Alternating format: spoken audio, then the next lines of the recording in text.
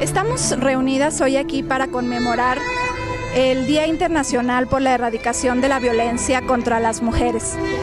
Quisimos, junto con todas estas mujeres, hacer un acto que llame a la conciencia, que llame a la conciencia de nuestra comunidad respecto al problema sensible que es la violencia contra las mujeres.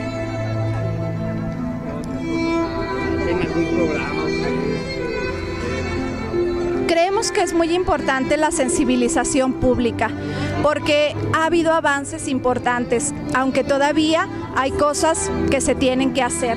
Actualmente ya se reconoce que la violencia no solamente es violencia física, violencia psicológica, violencia sexual, también hay violencia económica, violencia patrimonial, violencia obstétrica, violencia laboral y todos estos tipos de violencia que dañan a las mujeres.